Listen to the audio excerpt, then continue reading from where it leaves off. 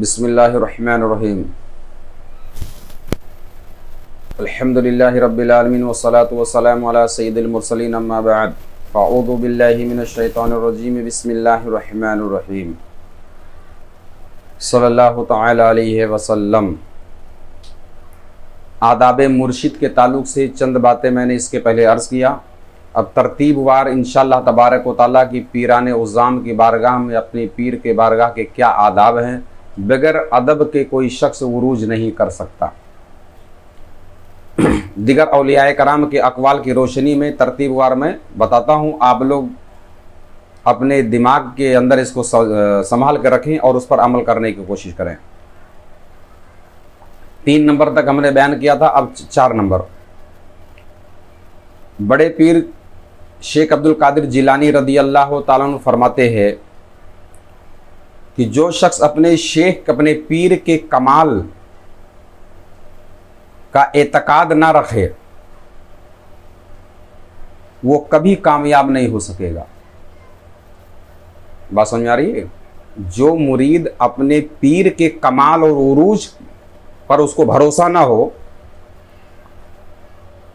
उनके कमाल पर उसको एतकाद ना हो, वो ज़िंदगी में कभी तरक्की नहीं कर सकता, रूहानियत की दुनिया के अंदर।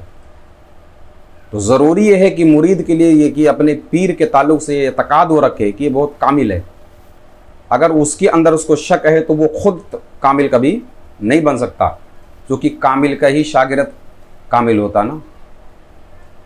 भाई, पहलवान, अखाड़े का ही लतमरवा तो पहलवान बनता है। जब इसको अपने उस्ताद पर ही यकीन नहीं है कि ये कामिल है तो खुद कैसे कामिल होगा? गोया को तू नाकिस को पकड़ लिया। बात समझ आ रही? दूसरे हज़रत अबू अली दक्काक रहमत फरमाते हैं, जो शख्स अपने शेख की सोहबत में आए और फिर उस पर एतराज़ करे, यानी अपने शेख की महफिलों में आता जाता रहे, लेकिन उस पर ऐसे भी हालात आते हैं कि अपने शेख की, के ऊपर एतराज़ भी करता है। बिला शुबह, उसकी बैत ख़त्म हो गई। बात समझ में अब उस पर वाजिब है कि तजदीद बैत करे। उसकी बैत टूट गई। यानी शे, अब ये बहुत, मैं कह रहा हूँ, ये बहुत ही बारीक रिश्ता है ये। यानी बहुत ही बारीक रिश्ता है। शेख के दरबार में आना जाना भी रहे और उन पर एतराज़ भी करे, उन पर शक भी करे तो उसकी बैत वो नियत करता हूँ मैं बैत तोड़ने की उसकी ज़रूरत भी नहीं है। वो बैत खुद ब खुद, जो कि इरादत उसकी ख़त्म हो गई ना। मुर्शिद इरादत का होता ना भाई। अगर ऐसे हालात कभी नफ्स तुम्हारे सामने ले आए तो फ़ौरन तजदीद बैत कर लो। ऐसे हालात नफ्स पैदा कर देता कभी कभी ऐसे भी मकाम आते हैं कि मुरीद को गुमान होने लगता है कि यार मैं तो पीर साहब से ऊँचे जा रहा हूँ। वो तो मसनत में बैठे मैं मुझे तो रात में फरिश्ते मेराज को लेके जाते हैं। तो अगर ऐसे ख्याल आए तो फ़ौरन उसको तोबा करना चाहिए और वक्तन फ़ोक्तन तजदीद, अगर ऐसे हालत आ जाए तो तजदीद बैत कर ले। शेख अब्दुलरहमान जेली ताला फरमाते हैं छः नंबर, अदब नंबर छः मैं इसमें नंबर डाल रहा हूँ ताकि लोगों को याद रहे वो टुकड़े बाय टुकड़ा। शेख अब्दुलरहमान जेली रहमतुल्लाह फरमाते हैं कि मुरीद अपने नफ्स को, मुरीद जब अपने नफ्स को अपने शेख या अपने पीर भाइयों, ये बहुत बारी इस वबा में अक्सर लोग गिरफ़्तार होते हैं। मुरीद जब अपने नफ्स को अपने शेख या अपने पीर भाइयों की मोहब्बत से रूगरदानी करता हुआ पाए। यानी जब एहसास हो कि यार मेरे पीर की मोहब्बत या मेरे पीर भाइयों की मोहब्बत से मेरा दिल उचाट हो रहा है, नफ्स भाग रहा है तो वो समझ ले कि अल्लाह के दरबार से अब हम फिटकारे जा चुके हैं भगाए जा रहे हैं कि निकल यहाँ से। यानी धुतकारे जा रहे हैं वहाँ से हम। यानी अलामत ये इस बात की है कि बात समझ रहे हैं? ये बहुत बड़े अल्लाह वाले हैं जिनका कॉल मैं पेश कर रहा हूँ आपके सामने।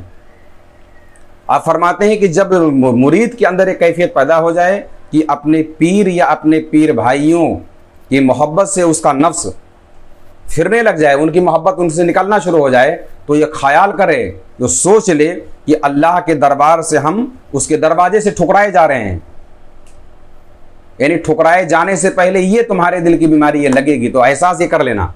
यानी ये बताने का मकसद ये कि कौन सी बीमारी कब लगेगी, उसका इलाज तुमको कैसे करना है? आदाब इसीलिए सिखाए जाते हैं ना कि जो बीमारी लगे ताकि उसका इलाज आप फ़ौरन कर लो।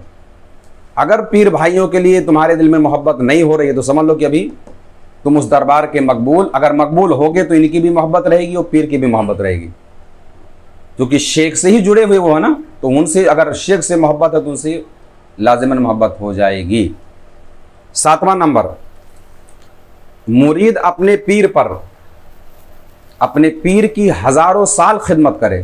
कितने साल? हज़ार साल की भी ज़िंदगी पा जाए और उनकी खिदमत पानी करता रहे हर एतबार से। अब जो भी तरीके वो ख्याल कर ले। यहाँ तक कि अगर उस अहले सरबत में से मालदार है, लाखों रुपए भी खर्चा कर ले।